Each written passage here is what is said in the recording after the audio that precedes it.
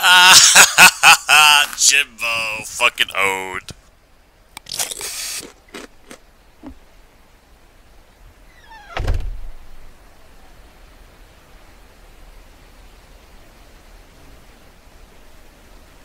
Get owned, kid.